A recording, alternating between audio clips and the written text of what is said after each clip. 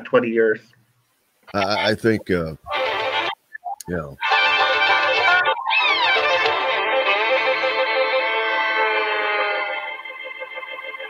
Well, we're coming to your city. Gonna play our guitars and sing you a country song. We'll all be flying higher than a jetliner. And if you want a little bang in your yin yang, come along. Come on and welcome aboard Indiana Sports Beat coming to you from the Golf Club at Eagle Point Studios on this Tuesday. Jim Coyle with you, Kevin Brockway sitting in, Mike DeCourcy join us later, Chronic Hoosier, John Laskowski as well. Big show today, plenty to get to. College football, uh, national championships put away. Uh, I, whew, Bama may be in the best team ever, Kevin, but no matter what, uh, college football made it to the finish. But man, it is time for change.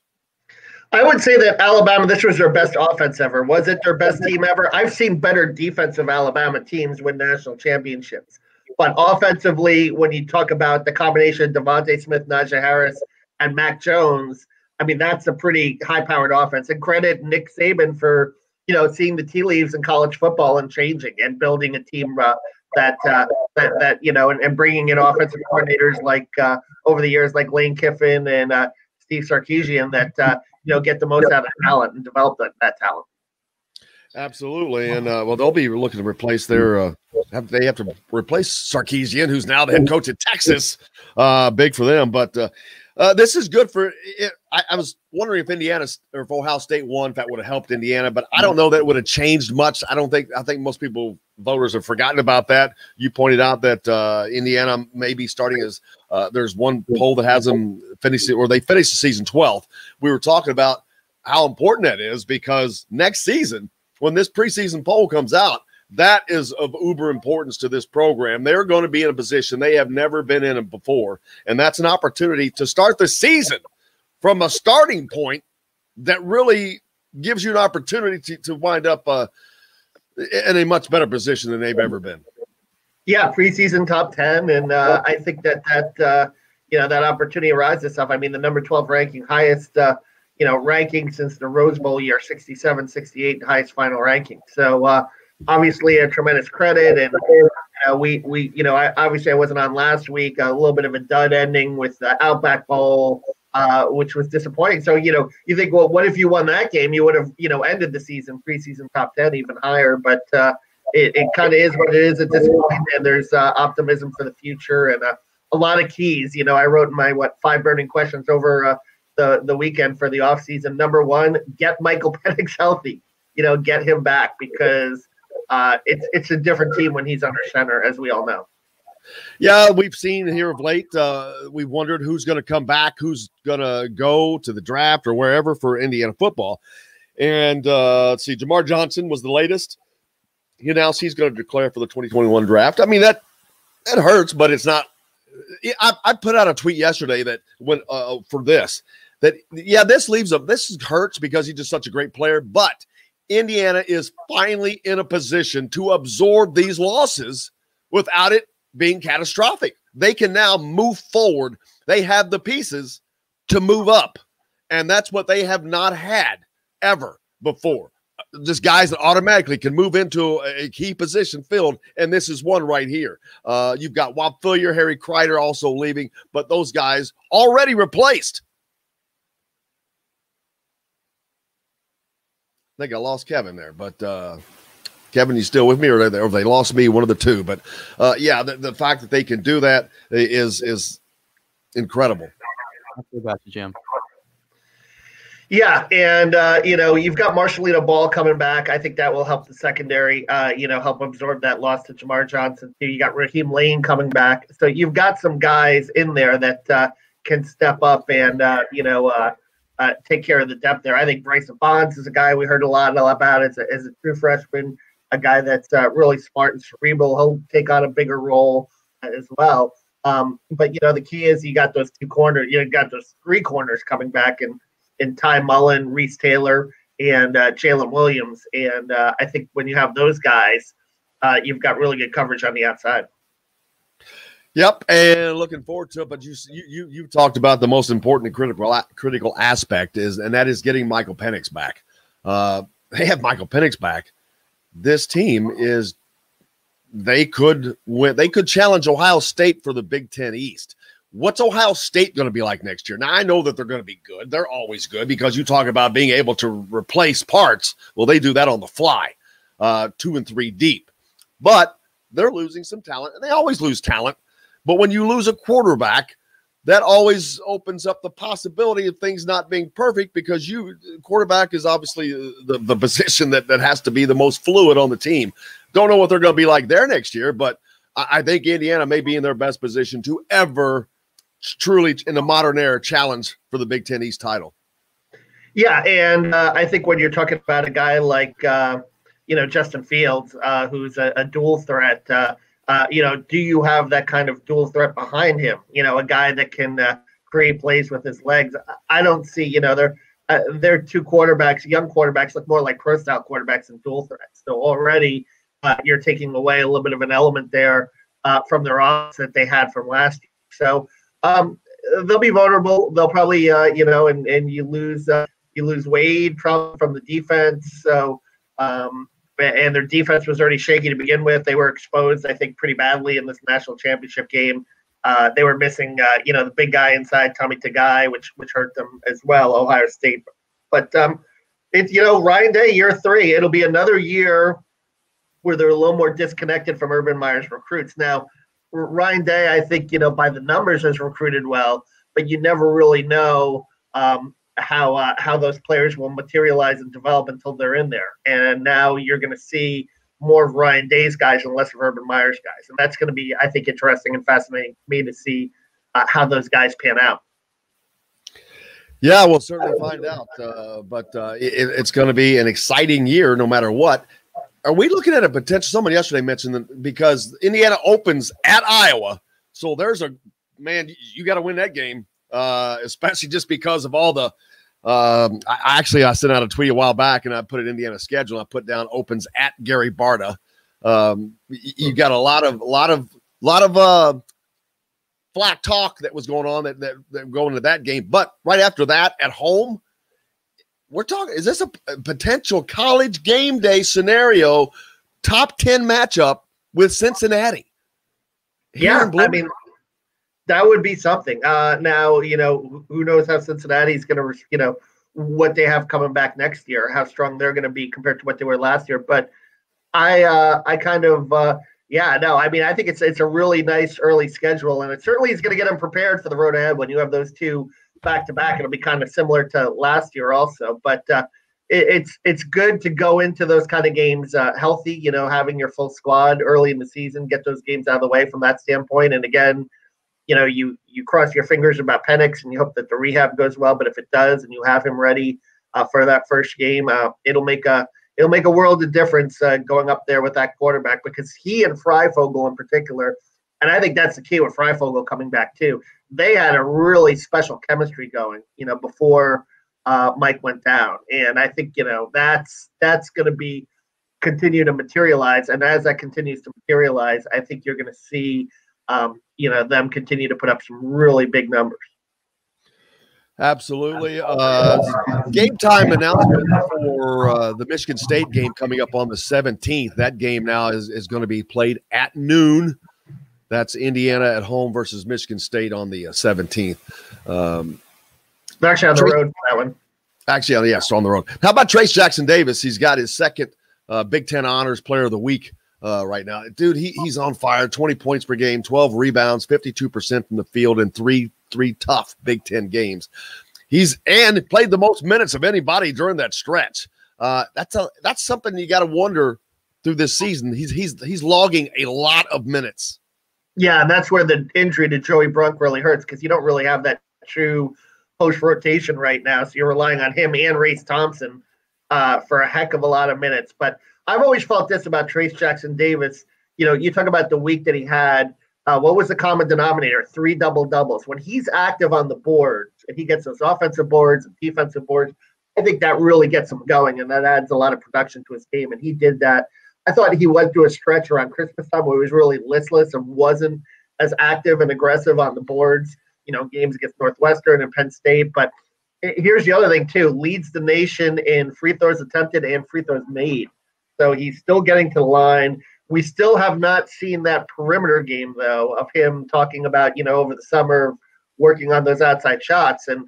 Uh, I don't know if some of that is, you know, circumstance with Joey Brunk being down. You know, you're you're gonna have to just park him down there and play him through there in the post. But uh, and his confidence in his shot when he's tried some of those elbow jumpers, he just haven't hit this year. They were hitting kind of at the end of last year, but that's going to be the next step to his game uh, to get it to an NBA level. Obviously, is to be able to to do that. But for now, uh, um, I, I like what I'm seeing this week. I mean, he really um, you know, kind of, and, and, you know, the Nebraska game was weird too because if, if you remember, just they just totally sold out to stop him. He had a hard time getting established, but when they really needed him in the last three minutes, he scored eight of the last 13 points and came up with a really big block along the baseline as well. So made some winning plays and uh, allowed them to uh, pull out that much needed road win at Nebraska on uh, Sunday night. Yogi Ferrell uh, changed of environment. Now he's with the Cleveland Cavaliers. Didn't see that so move coming.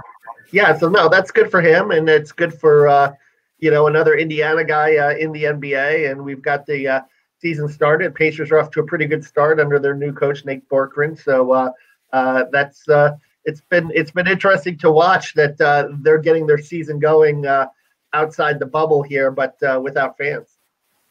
Absolutely, looking forward to that. As uh, they keep on going, Ryan from Whitmore Whitmore, Lake Michigan, hits up on the Andy Moore Honda hotline. Says Bama football is incredible. Six national titles in 12 years. I know they are the big. They are. I know they are in the Big Ten, but or aren't in the Big Ten. But could not cheer for Ohio State. A lot of people like that last night. I was wondering uh, how many people went conference. Um, I, I guess if I had to be pinned down, I probably went conference. I just, I really wanted Ohio State to win just to screw with college football.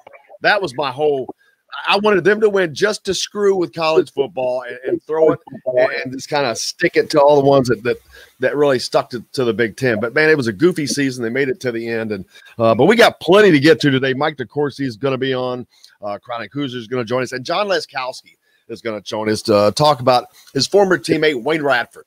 Uh, the Hoosier great who passed away yesterday. So looking forward to that as well. But uh, want to make sure if you got a Make sure you hit up the great folks at Bet Rivers. Uh, we want to appreciate all of them and French Lick Resort and Casino in West Baden looking for something to do. And our good friends at Andy Moore Honda. They've got a 0% sales event going on right now.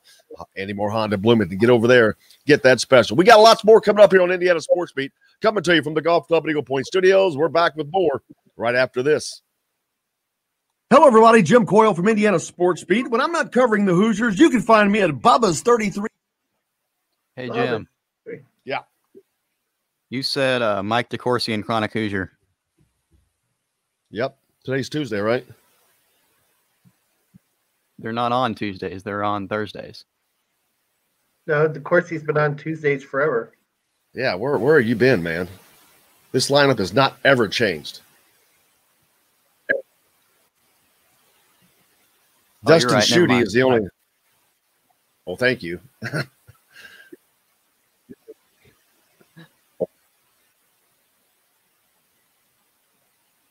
I don't mind coming in. Wasting all my time. Coming to you. Did your link go out a little bit? Mine went out a little bit. Ah, uh, something was happening. Yeah, something funky was happening, and because when you I rejoined you, I couldn't hear everything that you said. So I kind of when we were talking I know, about secondary, I, I was like, you know. I see. I never know why that happens because I'm on, I'm on fiber optic cable. And yeah. I'm like, man, man. So I never understand why we have an issue.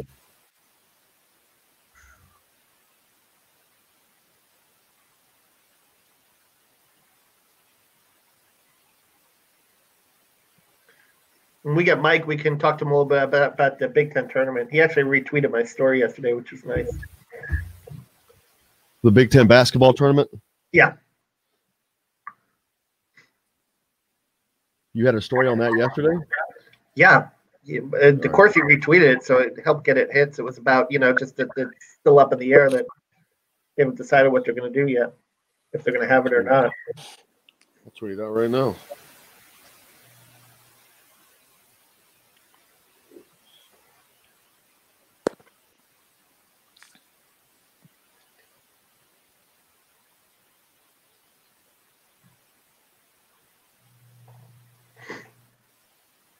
Um,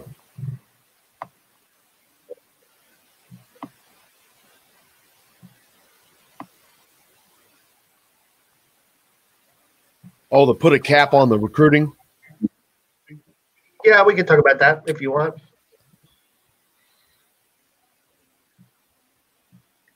The other thing too is the support. That's not staff. no. I'm asking you. That's not the story you're talking about. No, no. New Friday featuring a sandwich, fries, or onion rings, or a 7 inch pizza and a non alcoholic drink for just $6. Be part of the karaoke fun every Friday and Saturday night. Leroy's Tavern, a West Side tradition for 50 years at 2659 Mount Vernon Avenue.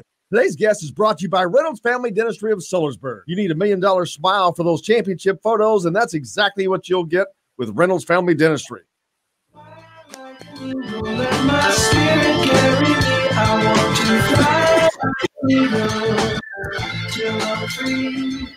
Welcome back, Indiana Sports Beat, coming to you from the Golf Club at Eagle Point Studios on this Tuesday. Brought to you by our great friends at Andy Moore Honda Bloomington. A zero percent sales event going on right now. Never happened before. You can get that Honda that you've always wanted and dreamed of. They've never ever had a zero percent sales event. Go get that uh, today and drive it down to French Lick. Man, I can't wait to uh, look forward to hanging out there this weekend. As a matter of fact, Kevin, you put out a piece yesterday, and I'm still trying to find it on the tournament. Um, but let's talk about that. Whether or not you college football made it to the end, they a made it to the through the championship. Different, not a, a tournament, but it's you got bowl games everywhere, so it's kind of a similar situation. But um, we we gonna make it to the tournament? Yeah, I mean, I think that's the issue. But I, one of the big issues too is with the Big Ten tournament is do you play it or not? And uh, Kevin Warren in a Big Ten uh, Network interview was kind of uh, non-committal about it.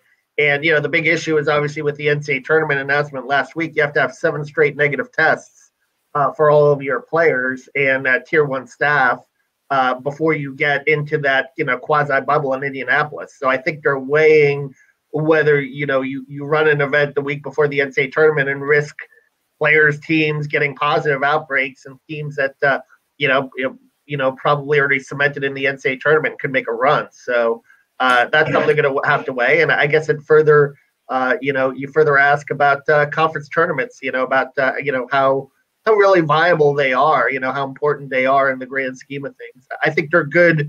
Obviously, if you have, you've got a team on the bubble, but are they really necessary, uh, uh, particularly in a year like this with COVID nineteen? And right now, the, the, the tournament is scheduled to be in the United back in the United Center in Chicago. Uh, which, uh, first of all, I think the first thing they need to do move it to Indianapolis. You, you're going to have the NCAA tournament there. Uh, if things are already going to be in place to kind of lend itself to that situation, I, I think that they should move it to Indianapolis permanently. Honestly, but that's being selfish and lazy, not wanting to drive Chicago every other year. But that's another point. But yeah, I do. I think they should move it to, to Indianapolis. I really do. I, I- think that since the tournament is going to be there, and that, or will they even have it? I mean, Yeah. that's that's that's the point we're talking about. What's the necessity? What's the in, in this year? Is there really a need for? There's not. I, I don't see a need for them this year. Of all years, I don't see a need for them this year, except for teams are on the bottom in, in the bottom of their conference, and who really cares? I don't. I don't care about a team's in the bottom of its conference if it makes it or not by winning its tournament. I don't like the fact that a team can do that. I don't like the fact that a team can battle all year long, wind up second in their conference, and not have a great tournament for some conference tournament for some, or have a bad day and lose and and not make the tournament. Now that's not going to happen to the Big Ten or a conference like that. But I just think it's ridiculous. I think it dilutes the tournament. Having just because a team gets hot over a couple days, I don't want to see that. I don't want to see this college football crap. I don't want to see Notre Dame in there getting smoked. I don't want to see these teams getting smoked. It's not fun. It's not enjoyable.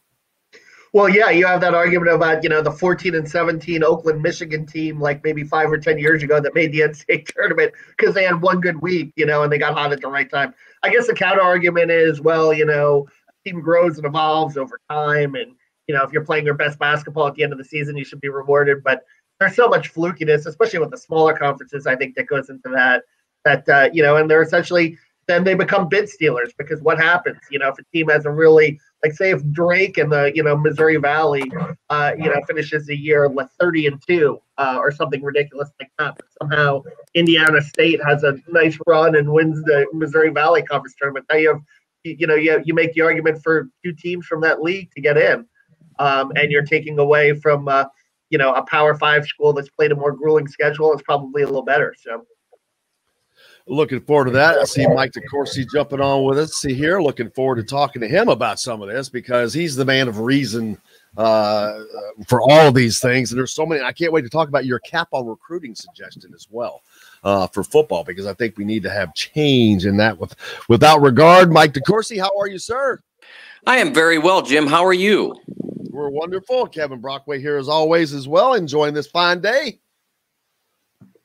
Yep, without a doubt, we're all enjoying this fine day. It's great to have you back, Mike. And I feel uh, I Yeah, feel for you with regard to the great to see you Steelers. guys. Yeah.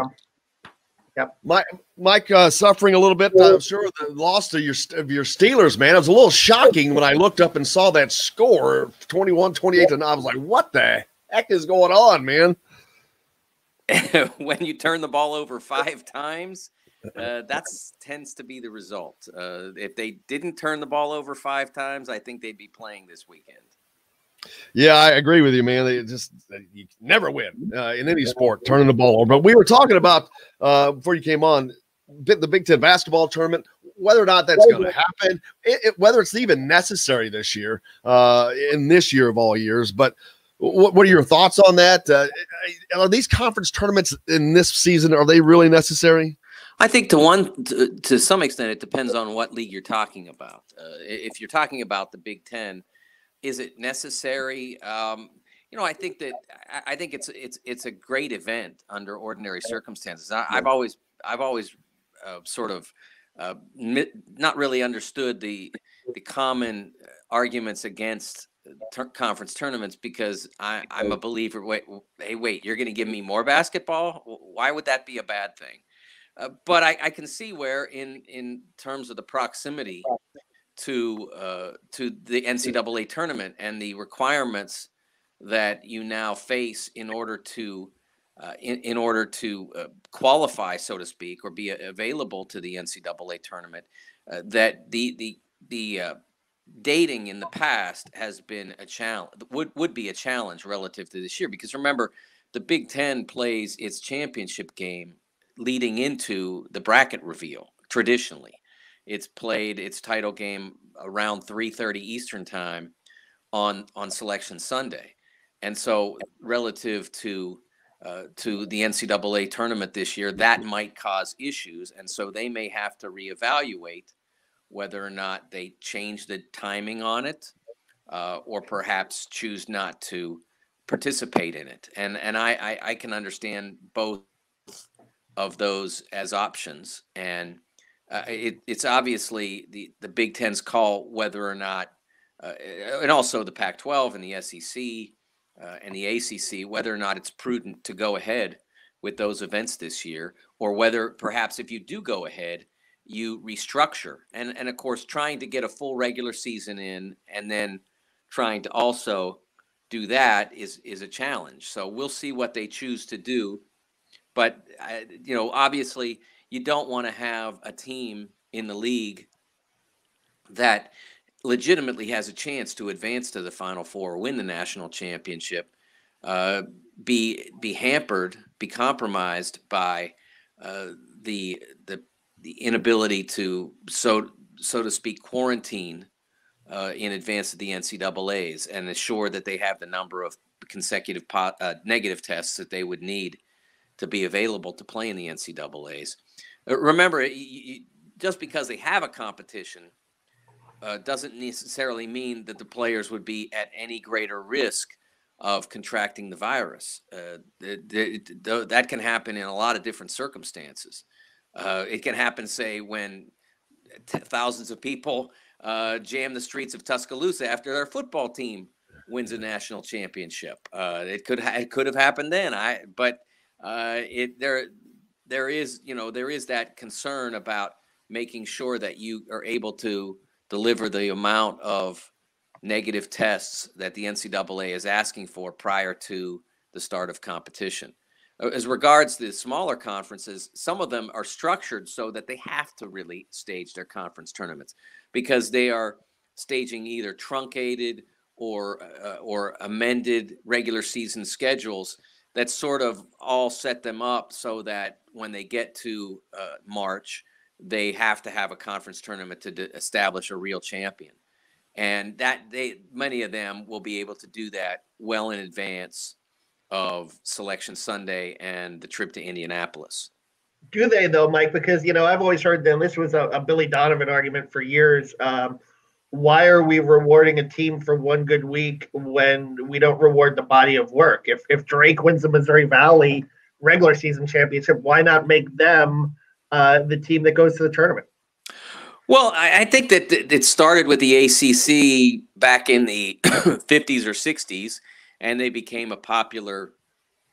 They became a popular uh, uh, event. Uh, they they they are very popular for fans to to uh, attend uh, in ordinary years, and for uh, television spectators to watch on uh, during uh, during March. Uh, I, I think that's that's a big part of it. And the big conferences, it's not really complicated uh, because the best teams are going to get in the NCAA's anyway. And then if if uh, one of the not best teams wins the conference championship, well, then that's just one more team that probably gets in. And if in most years it's going to be one of those teams that are probably going anyway and so they they either get another opportunity to win a championship. It's like in you know in in, in European soccer, like if you're in England, they have the Premier League, and then they have uh, the Champions League in Europe, and then they have the FA Cup, and so there's lots of different trophies to win,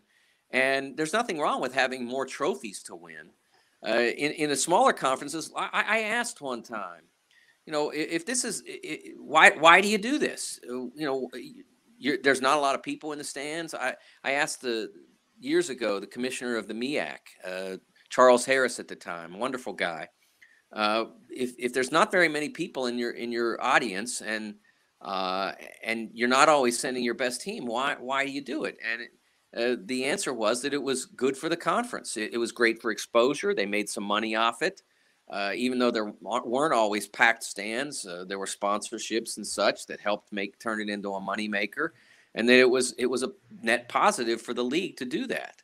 And so I I, I think that uh, you can you you can choose your your your NCAA tournament automatic qualifier however you as a conference want. If you want to say we like their uniforms and so we're going to send them, you can do that.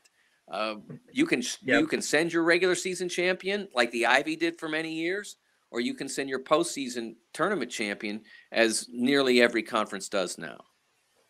I was just thinking back to that 14 and 17 uh, Oakland, Michigan team that was in the tournament. What was that like about five or 10 years ago, Mike, or whatever? It's just you, you just you sometimes get those outliers, but I guess you know we had a, a seven and nine Washington football team in the NFL playoffs too, so those things those things happen, I guess. And they got a home game.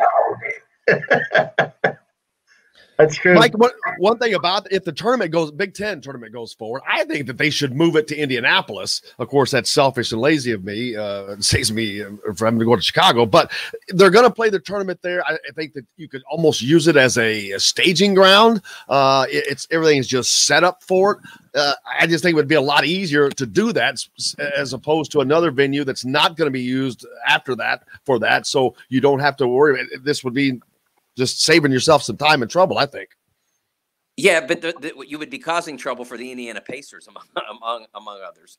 Uh, the Pacers There's already, Uh, have had to work with uh, the NCAA uh, relative to dates so that uh, remember the Pacers don't want to be out of uh, out of Bankers Life for two to three weeks, uh, and so they're they're already having to figure out can they play some home games in between the NCAA tournament, uh, using the using their venue for for games? Can they do that?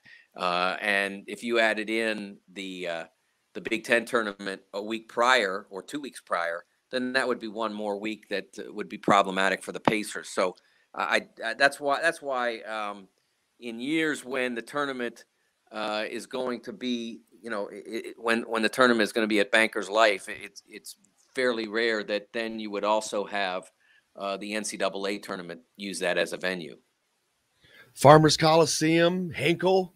Um, man, I'd love to see it in either one of those. Farmers Coliseums really intimate and without a ton of fans. That would be a great venue, I think. Hinkle would just be kind of historic. Hinkle is terrific. Uh, it's a wonderful place, and and as you as anyone who has seen Hoosiers can attest, it does not lose its charm when it's empty. Uh, that's my favorite scene in the movie when they walk in and and and measure the uh, uh the basket and measure the free throw line, and and uh, Coach Dale tries to convince the kids that it's not it, you know it's the same court, same thing, and then on the way out of the gym he says. It really is big. I had Angelo was on with us not too long ago, and because we've talked talked about that scene so much in the last two weeks since they've announced the tournament is going to be in Indianapolis, and I'm like, wow. I asked him how that really came about, and he said that's a story that he really heard had happened uh, in, in, there, so he thought it would be cool. I'm like, yeah, I think it made it was it's one of the most iconic scenes in the movie, but what a great scene that was. But yeah, I mean, I can see teams doing that. Oh, I, I mean, look, if you get assigned to Hinkle and you don't bring out yeah. a tape measure, I mean, you're missing the boat. I mean, you have to you have to do that. I mean, that's jumping on people's if backs. Every team that gets assigned to Hinkle doesn't go in there with a tape measure. They, you know, they should be they should lose their game just on that basis for lack of creativity. How many pictures will there be of somebody sitting on somebody's back with a tape measure? I mean, everybody's got to, you got to get that picture. I would. I'm like, please take a picture of me on somebody's back measuring this. yes, you have to have your little guy get on the on the shoulders too. You can't just, you can't just bring out a ladder for that. Heck no. Hey, uh, Mike, uh, Kevin had another suggestion that uh, we haven't talked about that much today, but Kevin, you talk about it. We're talking about college football, and we've seen Bama again, it's the same story over and over since Nick Saban's been there. He's just done a masterful job, and you can't blame him for that. But it's college football is not the end of the college football season is not as much fun, I think, for for fans when it's the same teams over and over. But how do you change that? Kevin made a suggestion that you you limit teams to to two five star recruits uh, somehow of re- limiting recruiting. Don't know that that could ever work, but something. I mean, we've got to come up with something to change this model. Well, I believe that the first way you change it is by opening it to everyone, making it a true championship playoff and not an invitational. And I think that over time, that would alter the chemistry of the event. If you are if you are an elite prospect, you all you, you are already incentivized to choose one of those three schools, uh, Clemson, Alabama, or Ohio State. Uh, because I mean, look, they, have got great coaches, they've got uh, a great track record of turning out professional prospects. Uh, everything that that you could want as a prof- as a as a uh, college football player and aspiring prof- professional is there for you. But you you also understand that if you want to to play in the most meaningful games in college football, you pretty much have you well i can't say you have to go to those places but you you certainly elevate your chances. You know, based on the committee's actions, that they are predisposed to make sure that those teams are in it. I mean, they have never they have never uh, left those teams out when they have the opportunity to include them, especially Alabama. First and foremost, I mean, Alabama wasn't one of the foremost qualified teams. I think it was in the 2017 season if I remember correctly, the year. They weren't one of the foremost qualified teams, but they took them anyway because they were Alabama, and then they ended up winning it. Uh, so they certainly were hmm. qualified, but they weren't one of the most four, four most qualified teams. In an 18 playoff, they would have fit, but in the four team, it was a joke. But it doesn't matter because it's a bunch of people in a room that nobody gets to see what they're talking about. Nobody gets to see what they're saying. And, and, and all of a sudden they come out and they present you with not just a structure for the for the championship, not just with the additions uh, to the championship uh, that uh, you know that would be made to those who have already qualified by winning a specific uh, device of entry, which would be a conference championship. But they, they give you the whole field. And we're supposed to trust that they know it all? Based on what? Nobody knows it all. I mean, it's literally no one knows it all. It, it, it's, it's preposterous to assume that any group of people knows for certain who the four best teams are. And, and, and the fact that they have so rarely seeded the, the games properly uh, put the, the, I think last night was the second or third time in seven playoffs where the number one seed has won it. Wouldn't you think that if they knew if they know enough to know who's better between four and five or four and six, that they also would know who's better between one and two? Well, they don't get that right even half the time. So it's that actually so proves a, your it's, point. It's a preposterous. Yeah, I mean it's it's a preposterous uh, constructive construction. But if you made it so that every conference champion in the Power Five would have a chance to play in that event, then you would have more players thinking, yeah, you know what? I, I like Coach Jones over here at State U. It's only half hour from my house. I, and, and if I win the league, I can go to that thing. You'd have more of that. Eventually it would it would it would even out. But as it is now, I mean, you have to go to you you almost have to go to one of those three schools plus Oklahoma to, to have a reasonable chance during your career of getting a chance uh, of getting the opportunity to play in that event. And we've seen over the la- over the over that period, we've seen champions from from those leagues that were not those particular schools. Uh, we've seen we've seen teams other than Alabama win the SEC. We've te- seen teams other than Ohio State win the Big Ten but we have very rarely seen uh, th- those teams supplanted from the from the championship tournament, and and that's you know that's not that's not a, a workable device for uh, for for everyone involved. It's not fair. You know, the Pac-12 gets no consideration at all. I, I can't understand if how you could be the commissioner of the Pac-12 and not be pounding on the door, liter- figuratively, of this event to get it changed so that your champion is an automatic qualifier.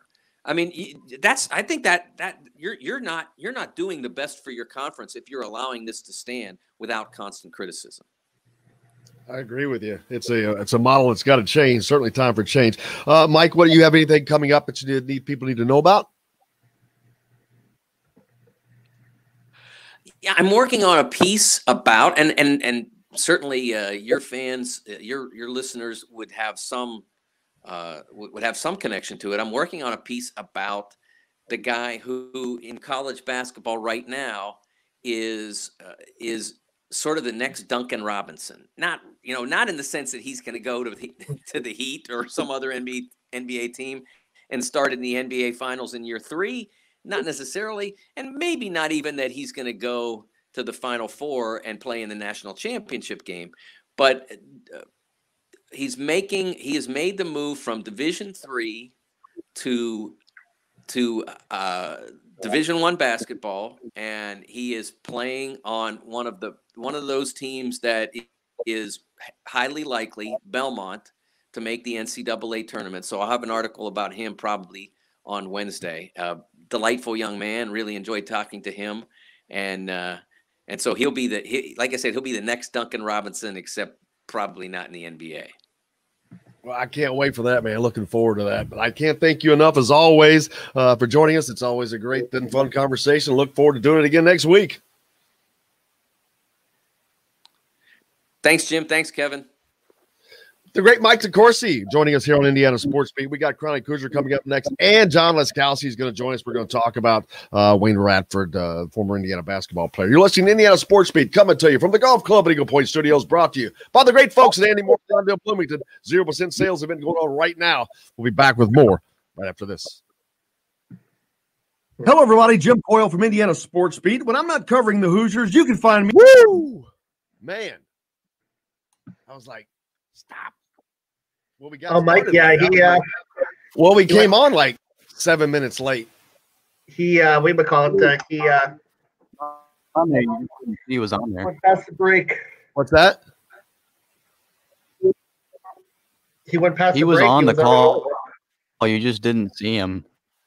Yeah, I never saw him on here until until I saw him.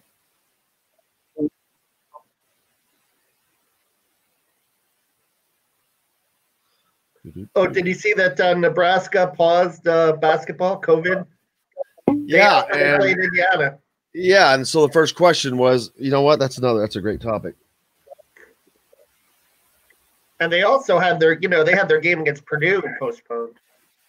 See, I thought that that game was going to get postponed because they had postponed their game against Purdue. I thought that Indiana wasn't going to play that game. But they did, and now they're shut down a day later. It's like, how's Indiana going to get uh, sick, you know? Well, I mean, see that that right there. They played a game against Indiana. Somebody's positive. Doesn't mean anybody in Indiana's Indi- Indiana's going even going to get it. There's no man, there's just no rhyme or reason, man. I mean, you can't shut life life down. Yeah. But I mean, we, we'll see. It'll be interesting to see if they do. If they all of a sudden we have this announcement on Wednesday, Indiana can't play against Purdue. You know, We'll know why.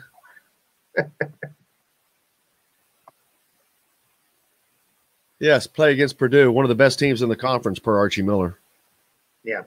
Uh, well, you know, Archie said on his radio show that Phinisee's banged up. I guess he might not play. We'll have to go with Al Durham and uh, Trey Galloway, and uh, who would be step in Hunter or Leal as you know in the starting lineup. Mm,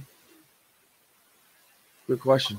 Maybe Chronic they would go with Chronic, how's you doing, brother? Another day in paradise. How you fellas? Cannot complain. Nobody wants to listen to it. Ain't that the truth? Hails to the is. Drafts every Sunday, Monday, and Thursday. Leroy's Tavern also features a $6 daily lunch special from 10:30 a.m. to 1 p.m. Monday through Friday, featuring a sandwich, fries, or onion rings, or a 7-inch pizza and a non-alcoholic drink for just $6. Be part of the karaoke fun every Friday and Saturday night. Leroy's Tavern, a West Side tradition for 50 years. The 2659 Mount Vernon. This guest is brought to you by Reynolds Family Dentistry of Sellersburg. You need a million dollar smile for those championship photos, and that's exactly what you'll get with Reynolds Family Dentistry. Standing in the shadow, and the good girl, her home at the Welcome back, Indiana Sports Beat commentator from the Golf Club and Eagle Point Studios. Brought to you by the fine folks at Andy Mohr Honda Bloomington. Zero percent sales event going on right now. It's your chance to get a Honda like never before. Brought to you. They're also bringing you Chronic Hoosier. He's with us right now. How's it going, man? It's going. It's uh, it's weird that we uh, that morning after football season's over, man. It's always kind of a uh, a, a somber day when you recognize that it's uh, you know, you got over a half a year left before you see uh, any college football again. But I guess that just means basketball has the sole stage here, at least briefly. Uh, before some of the spring sports start kicking in here, just around the corner, a lot of Olympic sports get ready to fire back up here in town. So it's uh, it's a sad day, but it's also uh, it's Purdue week, baby. What could be better? You got that going on. We were just talking about hopefully that game comes to be because the day after Indiana played Nebraska, of course, we saw Nebraska put a pause for the cause on their basketball program with COVID protocols, but nothing has been said about Indiana. So that, that that's all going forward uh, with that and expect that to, to happen full bore. Before we get to that, uh, what was that I asked? Football. Indiana ends up number 12 in the final ranking chronic. Talking earlier on how important that is because I just would be really surprised if they're not a if Michael Penix is back and healthy. I'm going to be shocked if they're not a top 10 team to start the season next year. And the importance of that, uh, it just goes is magna uh, the magnitude of that is gigantic for this program, but what they can now do if that comes to be. Oh no, absolutely. I mean, you look back just a year ago today. Uh, you know, the big question was, you know, after Indiana had such a successful season, uh, would they be able to sustain it? Could they keep it rolling? You know, was this just a flash in the pan type thing? And uh, you know, obviously, COVID comes and supersedes all that, and just throws a big monkey wrench in everything. And lo and behold, there's Indiana. Uh, you know, spending most of the season in the top 25. There's Indiana with a legitimate seat in the, uh, you know, the New Year Six conversation. Um, just what a wild turn the last year has provided for this program, uh, at least as far as how it's being nationally perceived. I think those of us who have followed the program closely have have seen, you know, a, lot of success building upon success. Um, and now all of a sudden, you know, we, we look at these accolades, you look at these uh, these way too early rankings and everything, and lo and behold, man, there's Indiana still a top ten team, uh, and I just think it speaks volumes to what the program has built uh, in a relatively short time here, in order to uh, in order to attract uh, and develop, and and I think just as importantly now maintain. Uh, the level of talent that they've achieved here, because that's that that that's every reason to believe that this is this is something that's at least built to last another season. Uh, I think Penix obviously is going to be the linchpin and all that. Uh, we got to see him find a way to return to health uh, and, and, be a you know pretty close semblance of, of what we saw from him this year, uh, because you know the, the, final couple of games of the season showed us. Uh, while Jack Tuttle's got a lot of uh, a lot of fine attributes, it's totally different offense when Michael Penix isn't out there. Um, and along those lines too, we got to see Jack Tuttle get healthy right now as well. Um, you know, there hadn't been a whole lot of news about his uh, his status afterwards, um, but seeing just how precarious the thing is once you get down the depth chart, quarterback position, I think it's going to be imperative that Indiana uh, gets him healthy as well. Uh, because that's been the one knock to this point is you know Mike Penix has not shown that he's able to get through a season healthy. Um, and you know until proven otherwise you've got to assume that may be the case next year so continuing to uh, to get those guys back on track up to speed and under center again uh, there's a whole lot of good things in store for indiana next year i think and um, you know hopefully now the vaccinations rolling out we're gonna have a chance to uh, to go see it live in person uh, in memorial stadium and abroad next year that would be spectacular kevin you gonna get your vaccination when it comes out i can't wait to get mine i promise you They're uh, we were called. Uh, I know down in, I was down in Florida last week, and they're giving it out to Publix at the supermarket. So uh, you know maybe. They, I wish I know how to stop by. Maybe they could do that at. Uh, maybe they could do that at Kroger, but uh, you know it's interesting down the depth chart when you talk about the quarterbacks. I mean, you've got Dexter Williams, and uh, you know a kid I'm excited about that I saw in high school last year. Really, is Donaven McCulley. I mean, I think he's got a little moxie to him, some good arm strength, a, a similar quick release to Penix. I mean, he might take a little time, but I think eventually he could be uh, in a few years uh, a nice heir apparent. Right. You know that's uh, that's going to be the next big test for this. Is uh, you know once you um once you get to the top of the mountain, can you keep bringing guys into the program that can keep you there? And uh, you know that's one thing we have not seen that I suspect Tom Allen's going to make the most of here this offseason is just how he how he parlays this recent success and seeds future classes with it. You know, I think you're starting to see some movement already in the uh, in the transfer market. Um, you've seen him on the uh, on the recruiting trail. You know, continuously upping IU's recruiting rankings, and that's ultimately, you know, that's I, I think you know Zach and I've talked about on the podcast for several years now. That's always been the biggest hurdle uh, in getting this program where you want it to be is attracting the necessary talent um, to compete at the levels that Indiana is being asked to here in the Big Ten, specifically the Big Ten East.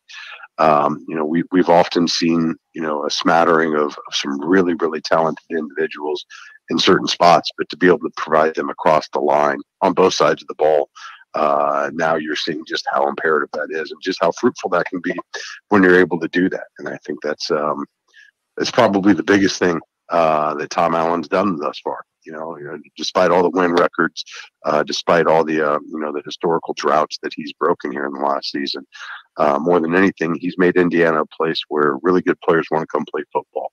Uh, and and really good, you know, just football personnel in general. Look across the staff uh, making Indiana a destination rather than a uh, a gravestone type of a location for a coaching job. So uh, kudos to them, and uh, you know hopefully they uh, they keep it rolling because all indications say they're just going to keep getting stronger.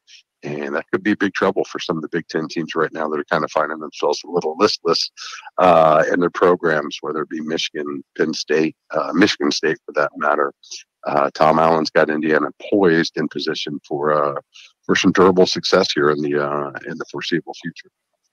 The next question, Chronic, is is the opening of defensive coordinator for Indiana. Who's who's that going to be? Uh, is it going to be a move from within, or is he going to go outside and, and bring somebody in? Uh, well, of course, only he can answer that question. We don't know, but it'd be interesting to see how that moves forward you know, I, uh, I am not real sure. Um, that's one thing they've done pretty good job of is keeping this under wraps. The people I know that know a whole lot about this, uh, these types of things, really don't know squat right now. Um, you know, if, past uh, if past history is any indicator of the, the future, Tom Allen's taking his time with it. Uh, he's going to focus on finding not just the right fit as far as skills and attributes, but also uh, character, personality wise with the program. You know, that LEO mantra really means a lot. And making sure you've got a guy that's not only a great defensive mind, but also somebody who's on the same page as far as what it means to uh, to grow and develop these young men, um, not just on the field, but off. So my guess is that uh, that is well underway by all accounts. Uh, and I wouldn't be surprised if we we hear something here in the next seven, ten days. Uh, now that the um, the season is officially concluded. Uh, the coaching carousel still spins, but as more and more spots start getting filled up, um, I, I, think you see a lot of the uh, a lot of the choices start to um, basically self choose, if you will, based off what's left available, what's been considered. So, um, my guess is there's pretty capable and qualified applicant pool right now that they're looking at. Uh, but I wouldn't be surprised now that after the dust has settled on it, uh, we probably hear some news on that here sooner than later. Certainly looking forward to it, uh, just out of curiosity, but also Indiana basketball, a gigantic game coming up uh, Thursday. Uh, Purdue coming into town, and there's no question, Chronic. There's the pressure's a little bit of pressure starting to mount on Archie with Purdue. He's 0 7. Uh, so you got that, the rivalry thing, but just uh, it's a game that you'd really like to get under your belt uh, because you're at home, which home and away doesn't have the same connotation this year, but it is at home, so you definitely want to get that one uh, under your belt. But uh, just it, it's a win of the Big Ten It's desperately needed. So it doesn't even matter who you're playing, but the fact that it is Purdue, uh, it, it, does matter.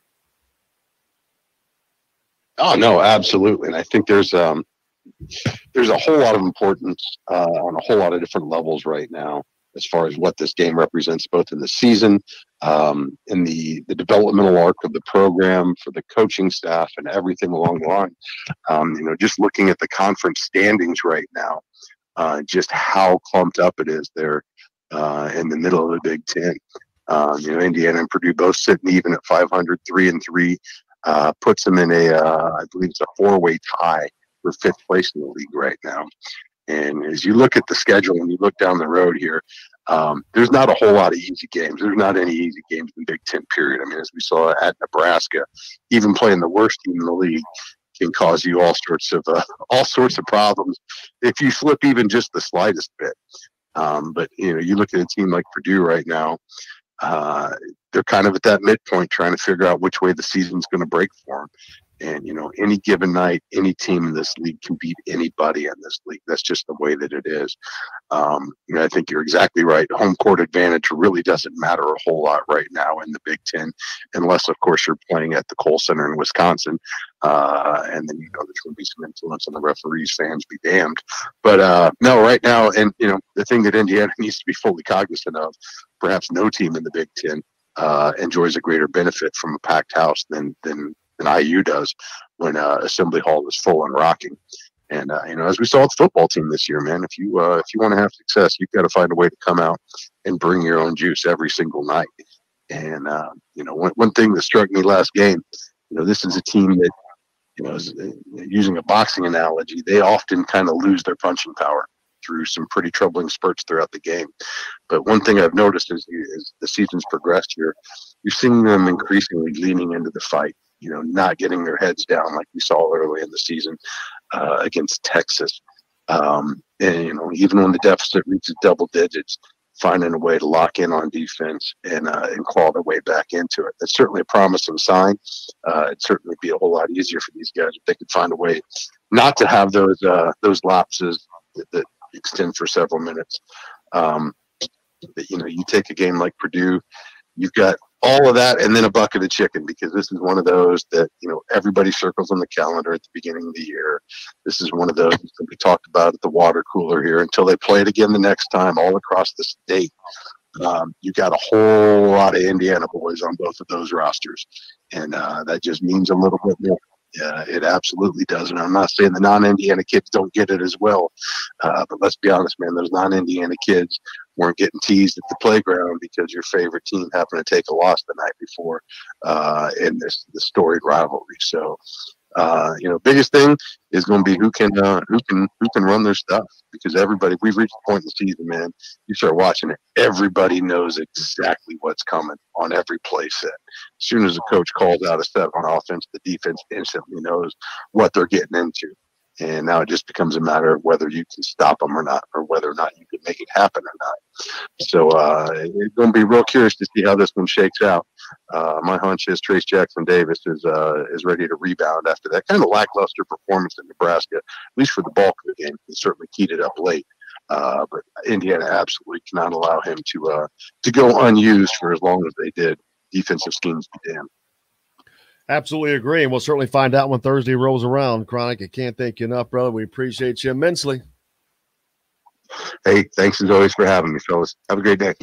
The Great Chronic Hoosier brought to you by the fine folks at Andy Mohr Honda Bloomington. 0% sales event going on there right now. Get get over there and check that out. We got lots more coming up, but John Laskowski up next, former uh, Hoosier, uh, vaunted sixth man uh, on the 75 team, teammate of Wayne Radford. We'll talk about that when we come back. You're listening to Indiana Sports Beat coming to you from the Golf Club at Eagle Point Studios. We're back with more right after this. Hello, everybody. Jim Coyle from Indiana Sports Beat. When I'm not covering, I was going to bring up a point about the turnover margin, but uh, Chronic went up. Right. I know, but I was like, I, kept, I was like, damn, he ain't gonna stop. He got he got on a little roll there. We could talk about that at the end. Uh, Talk at the about it, last yeah, yeah. Yeah, we'll last segment. The last segment. Yeah, we got some things we can touch on. We got some things to touch on. Laskowski. John Laskowski, super sub. So he's like the uh, owner of that Culver's, or what? What is he? Yes, yes, he owns him. Him and his son Scott own that Culver's. Yes. He owned that Culver's. Yeah, I hear. I've never been to Culver's, but my brother loves it. He says they're great. They have like great burgers, right? The buttermilk burgers. Well, all right. I love if they could take Freddy's fries. They need to get Freddy's fries over. Freddy's fries are so much better, but I like I like Freddy. Yeah, I like Freddy's. Yeah. but Culver's Culver's spicy chicken, it's the best Sandwich. there is. It's the best. Is it a sandwich or is it regular chicken? No, it's a sandwich. It's a spicy chicken. And, and and I got I just got Freddy's the other day. It's a damn square about that big. I was so pissed. It was bull. I'm like, this is crap. Freddy's. Yeah. They got the fries though. I gotta have their fries. They got that Freddy's, stupid the burgers and the fry sauce. They got that the fry sauce. It's so is good. Yeah. The Yeah. cal- uh, I get the, the jalapeno fry sauce. It's unbelievable. yeah. I like Freddy. Did Will say something? John is laughing. We're talking about Freddy's and Culver's and all I'm telling you, we were just comparing it. I just wish I love Culver's everything. I wish you all had the fries. I love their fries. Oh, that's the only thing is they get me on, man. And that stupid sauce. But other than that, all the food is better over at Culver's. Tell everybody, I'll tell everybody that. That's just a fact. it, it's just a fact. The food's better, baby. Love to hear it. Love to hear that. See, you even caught us telling the truth when we didn't know you were there. Telling the truth, baby. It's the truth. How you doing, John? Good, Jimmy. How are you doing, bud? Can't can't complain. Can't complain. Uh, you guys, man, I was by there the other day. And I was going someplace. And it was late. I'm like, man, you all were busy at like right before closing. Slam. Uh, a lot of people come late. Yeah, a lot of people come late, do the drive through. Yep, yep. It's worth the wait, though. of course it is. That's why the line's so long. Leroy's Tavern also features a six dollar Takes a lot of money to have all those cars a.m. to paid. 1 p.m. I Monday to pay through 'em to Friday. stay there featuring sandwich, line. fries, or onion rings.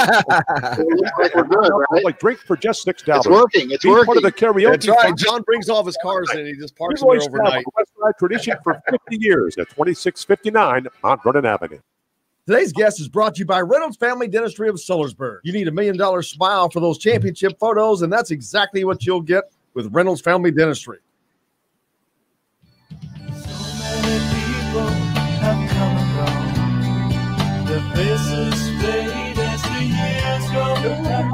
Welcome back, Indiana Sports Beat, coming to you from the Golf Club Eagle Point Studios on this Tuesday. Brought to you by the fine folks at Andy Mohr Honda Bloomington. Zero percent sales event going on there now. Make sure you get over there. And French Lick Casino and Resort, they're open and ready for you. John Laskowski joining us now, the uh, great former India basketball player from the '70s, owner of the local Culver's restaurant, no doubt as well. But John, how are you, sir? Good, good, doing well, doing well, and uh, exciting game last night. At least the first half, huh? Yeah, it was for a while, and then uh, things got out of hand. But uh, it was time to leave and go go to Culver's and get a spicy chicken sandwich. About halftime, it was about over at that point. But Always uh, a good idea to go to Culver's. Always. if you if you don't if you're not familiar, John and Scott Laskowski own uh, the Culver's in Bloomington, or they're on Third Street. Uh, my favorite spicy chicken sandwich in the world, no doubt about that. Um, but man, it's been a, a incredible sports year. Uh, not incredible in a lot of different senses. Not always good. Of course, ye- yesterday we, we lost a former teammate of yours and Wayne Radford, and it's a guy that I honestly was not familiar with enough. It was kind of at that that time where it really came started coming into my life. I didn't get to speak with him. I really regret that now. The more I'm learning about him and how great a person he was, it just uh, it's just one. It's, it's a huge loss. Yes, it's younger guys on the team, uh, two years behind me, and you know, think about the the role he had um, in Indiana basketball. You know, the first team was Scott May, Kent Benson, Steve Green, Bobby Wilkerson, um, and he had to practice. He was the the second team. So he had to practice against the first team every day of his career for two years. And if Michigan and Michigan State and and Illinois couldn't beat Indiana in those days, think about the four guys who they have to practice against the number one team in the country every day. And man, that's a tough job. Man, I imagine, gosh, Kevin, you weren't around Kevin for those teams, and it just they were so special that they will always be special. I mean, it is amazing that it just those teams have just not lost their luster. I watched the Showtime uh, documentary, John, and I, I saw you were pretty prominently uh, in it. But uh, I, am curious also about Wayne, about uh, his post basketball career. He was a guy that was uh, immensely loyal uh, to Indiana, a member of the varsity club. What, what did that say about him that he, you know, after his pro career with the, the Pacers, what kind of alumnus he was as well? Uh, I missed that a little bit. Uh, ask that question again. Yeah, I'm just curious about his alumni activities. The fact that he, you know, kind of stayed true to Indiana uh, after his playing career ended, and uh, all that he was involved in with IU. Yeah, absolutely. You know, he uh, he was from Arlington and Indianapolis, but boy, fell in love with Bloomington, and uh, he would come to the games every game. I'd see him at the games. His seats are right behind the IU bench, right where the tunnel is there, and he had the the fourth row, so was the top row before you get to the wall there. And my seats are across, directly across the court from him, uh, by the other tunnel where the team comes out. And uh, you know, I'd, I'd sit in my seat there, and every game I'd see Wayne Radford right there with uh, uh, with somebody watching that game, and, and he's vocal, he's cheering, he's yelling and screaming. I'm sure the players over the years could hear him, and sometimes he wasn't very happy about what he was seeing uh, he was not afraid to let them know about that. Oh, man, it is awesome. I did not know that. That is incredible. Oh, that is such an incredible story. And the fact that he remained that uh, apart, both of you guys remain apart. That is so important to this program to have people like you, the yeah. foundations, I guess you call them. You know, it was such a good experience. I go to see Coach Knight every uh, week now. Uh, by the way, his favorite is the uh, chicken cashew salad. No tomatoes, no uh, cucumbers from Culver's, no dressing. Uh, usually on Tuesday, float. Take it over to his house, and uh, he gets a uh, he gets a salad from. Culver's.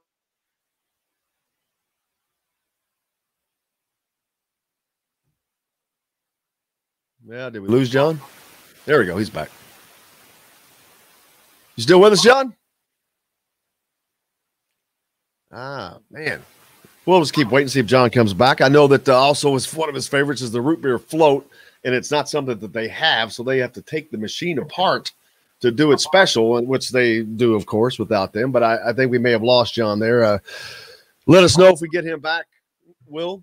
And uh, but man, that was some great. Just listen to him tell those stories. Uh, That's why I love having John on. But uh, hopefully we'll get him back on here. But yeah, Kevin, you, you watched it. That just such a great group of of guys that were incredible beyond their talent level. It was so deep. I mean, Yeah. the guys that were seven, eight, nine deep, like he just pointed out, you're practicing against the best team in the country. How are you? You're probably the second best team in the country. Uh, but man, the the the the stories that we don't know about these guys, like I didn't know about Wayne City. I knew he sat behind the bench there, but I didn't know he was always into it and yelling and all that. Uh, I- like I said, I, he's a guy that I did not have the fortune of getting to to talk too much, No, like I do John and some a lot of the other guys, or especially the guys closer to my age.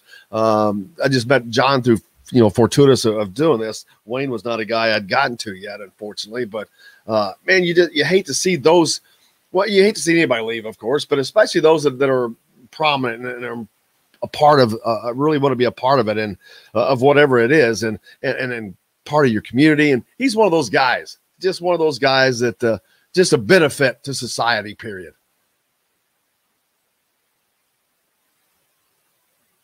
Hey we got a lot more coming up here on indiana sports beat. Let's take a quick break uh, and we'll come back and wrap it all up. You're listening to Indiana Sports Beat coming to you from the Golf Club at Eagle Point Studios, brought to you by the fine folks at Andy Mohr Honda Bloomington. They've got a 0% sales event going on right now. You can find them right off of 37 here in Bloomington. Also, French Lick Resort and Casino, they're waiting for you. We'll be back with more right after this. I lost my connection there for a sec. But I'm back. Yeah, I don't know where we are or what's going on. You were talking about uh, No, are we or Will, are we in a break?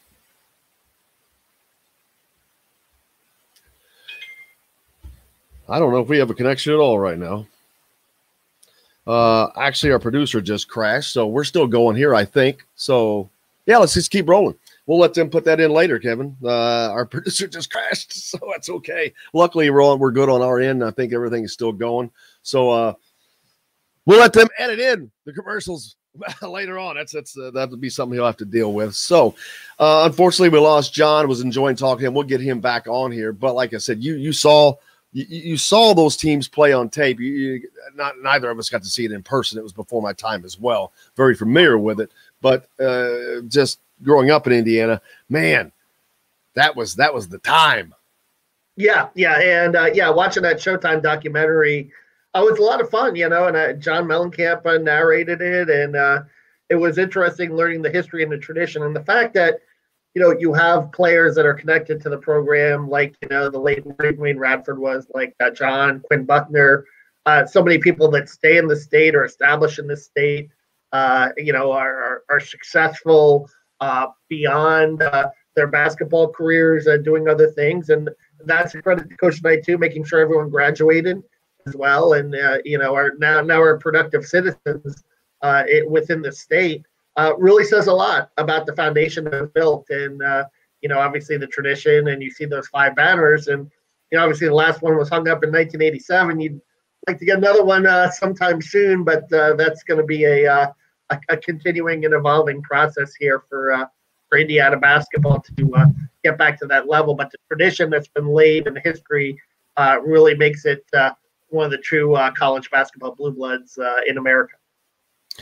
Absolutely. Uh, ear- earlier, we were talking about the possibility of uh, something you had suggested on football recruiting and capping recruiting at two five stars um, Per class, per class, yeah. per class, uh, which, you know, I, teams that don't get five stars would love that. Like Indiana has never had a five star, but I, I the, I don't know how you're going to do it. I, I, I understand that premise, and, I, and to me, okay, there's yeah, there's some sense there. How to how do we make it work?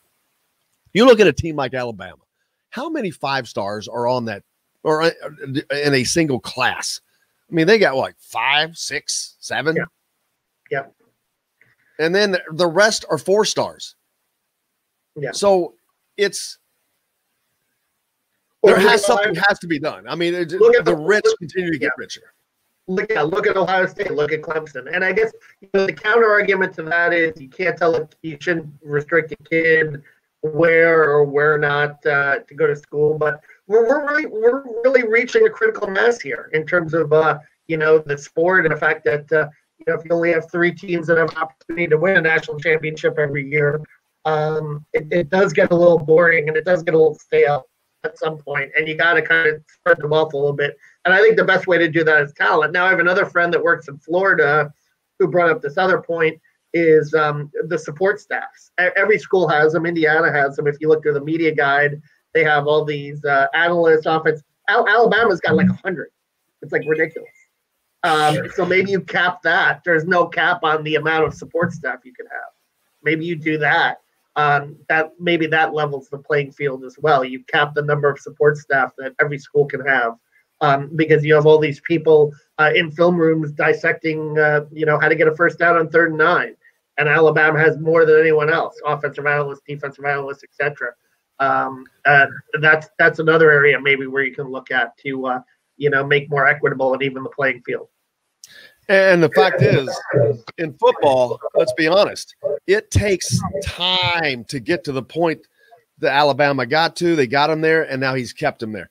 You, it takes a long time to get to that point, and when you've already got teams that are there, it's hard to move them off the mountain. You've seen nobody's been able to move Alabama, Clemson, Ohio State out of that top three. They are the top. Been have been the top three teams for a freaking decade.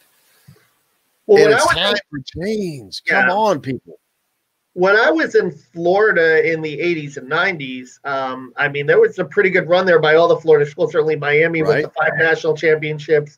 You had Florida State. You had Florida uh, won one in 1996. So you, you know you had a stretch there where you know the three big three Florida schools were kind of dynastic in the 80s and 90s. So it is cyclical. I mean, it'll be interesting. I think when Nick Saban retires. Uh, whenever that will be, or if he just somehow decides one day he wakes up and says, you know, I've accomplished everything I want to here. I want one more shot at the NFL. Maybe, maybe that happens. But I think he's to the point now at 69, 70, that might be a little unrealistic. He might have wanted to do that. You know, maybe the time to do that was about five or 10 years ago, but uh, uh, you never know. Um, but uh, I- think that's I think it's it's the coach too. I mean, we saw with Bob Knight with basketball. You know what happened after Bobby Knight. You know, it's uh, it's uh, you know sometimes it's the one guy uh, that organizes everything that makes the big difference. There is absolutely zero doubt about that.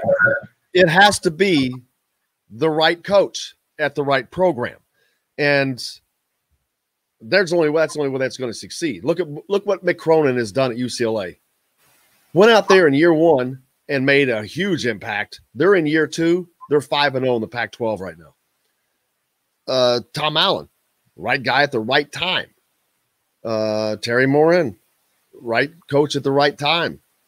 I mean, it's just you, you have to you, you have to have a, a, a an effect on the program.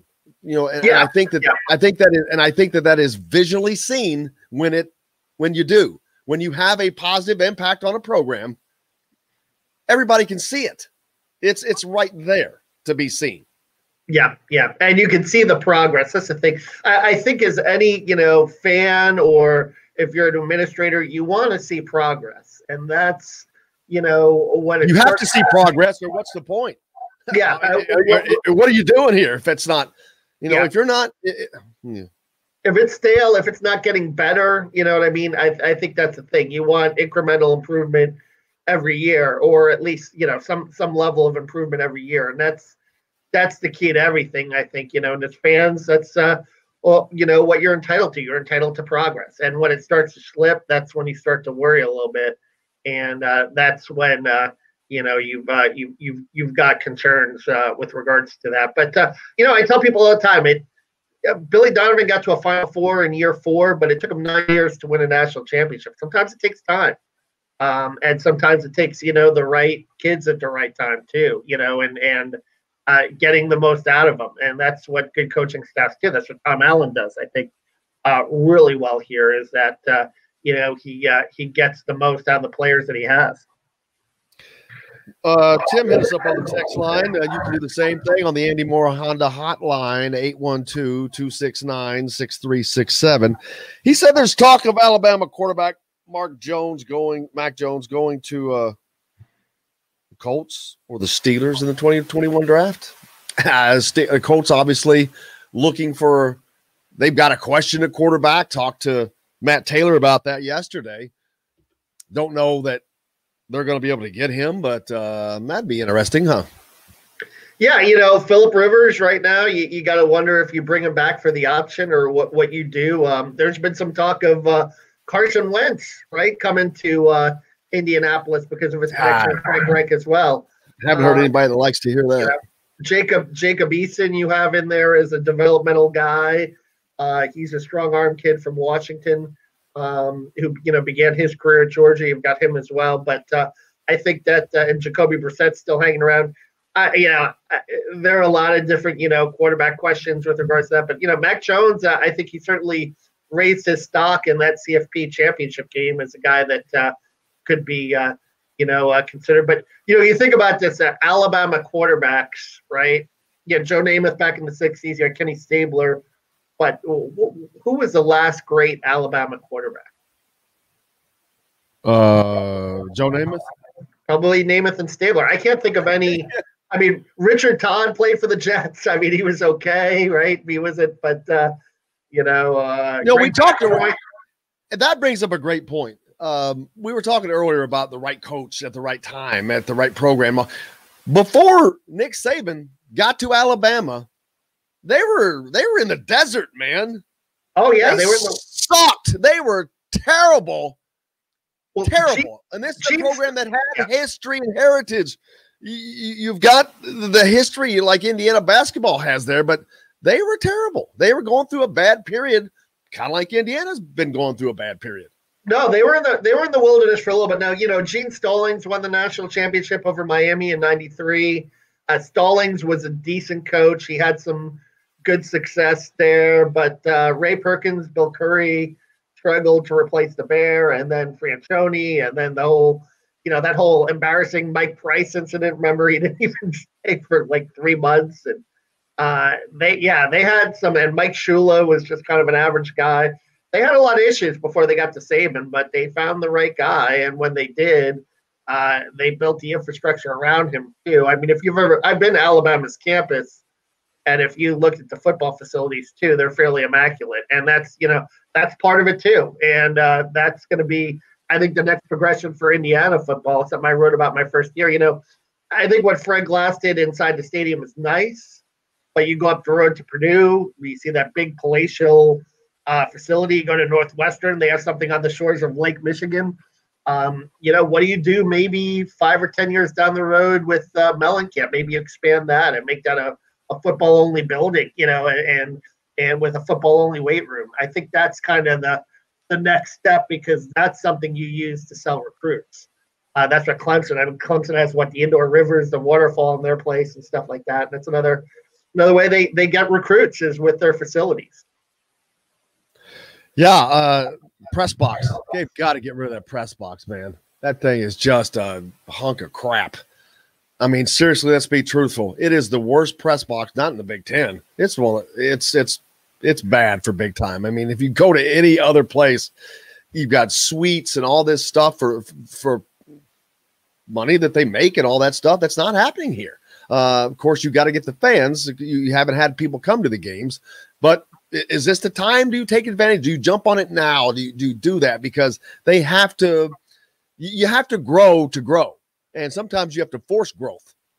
Well, yeah, in the pandemic environment, I think it's uh, you know obviously going to be tough in the immediate future, but uh, hopefully, if we get back rolling five or ten years down the road, I think there's a lot they can do with the stadium. I mean, let's face the, the, the press the press boxes for us, uh, you know, five years down the road maybe, but the press boxes for us. I mean, I don't know if it's that big of a deal to but you talk about the suites you know having maybe luxury suites around the stadium that's what i'm talking about they usually build that entire deal that could, that could be a revenue boon but uh, I think you'd have to do a little bit of a stadium remodeling project there because the stadium itself is kind of this big concrete edifice, and you have to, you know, you know, maybe have a ring around it or something, you know, for those uh, for those uh, kind of uh, sweet areas. But uh, take a look at where it was, you know, before 2010 too, and um, the fact that they've even enclosed it, I think, is uh, uh, probably a good first step. Oh, absolutely. It, looks it looks beautiful, but uh, you got to continue to move forward. But uh, in Indiana basketball, a, a gigantic game on Thursday. We've talked about is Purdue coming in. Uh, we were talking about Alabama and how it was dormant before Nick Saban got there. That's the thing about true blue blood programs. And every time I see someone ask, "Is Indiana still a blue blood?" There ain't no still. You always are. When you are, you just are. And Indiana is a blue blood program in basketball. And any blue blood program, whether it's football, basketball, what you saw happen at Alabama when Nick Saban got there, the right guy at the right time at that program. Bob Knight landed in it at Indiana, the right guy at the right time, and they dropped their magic dust and an explosion happens. And that happens only usually at a, a blue blood program because that's where it can happen. It is always there under the surface, ready to explode. And that's Indiana basketball. It can explode at any minute when the right combination is dropped. Yeah, because I think you have the whole state behind you, which, you know, the same thing with Alabama football. You've got the whole state behind, uh, you know, Alabama football right now. And uh, I think you can. Uh, you can have that with Indiana basketball if you have the right guy, and that's that's the key. And, and you know whether you know Archie is the right guy, uh, remains to be seen. I mean, we'll see, uh, uh, you know, how he progresses in the next few years of his contract. But if not, then you know, you maybe you try to look for that right guy. It's going to be it's going to be interesting these next couple of years in terms of, and it really begins Thursday against Purdue. and um, you know, Archie said on his radio show yesterday that you know, Rob Phinisee ended up uh, tweaking his knee. You know, he played through that in the second half of the Nebraska game. I remember asked Rob after the game. He said he was a little sore, but could be a little more serious. And uh, you know, you might have to start Anthony Leal or Jerome Hunter in that game on uh, Thursday. And uh, now you're going to be down three guys that were starters last year. So uh, it's uh, it's been tough sledding, but they're still three and three in the Big Ten, and you just try to keep on fighting through it. Absolutely. It's been another fun day here, man. I appreciate you as always. Want to thank uh, Mike DeCourcy, Chronic Hoosier, and Mr. John Laskowski. I look forward to getting him back on again. We didn't get to talk to him as long as I'd like to, but uh, anything you got coming up real quick people need to know about? Well, just, uh, you know, coverage for Purdue this week um, and, uh, you know, probably uh, just some uh, football stuff to continue continue on. So. Looking forward to it. Of course, we're back tomorrow from the Golf Club Eagle Point Studios, brought to you by Andy Mohr Honda Bloomington. 0% sales event going on out there. Get yourself out there. It's never happened. It's a first. You can get yourself in the Honda that you want to drive down to French Lick Resort and Casino and hang out down there. That's what I'm looking forward to doing this weekend. But we appreciate everybody joining us. Uh, as always, back tomorrow to do it again. Until then, make sure you do something nice for somebody. Wear your mask. And until tomorrow, I'm Jim Coyle. I will see you on the radio.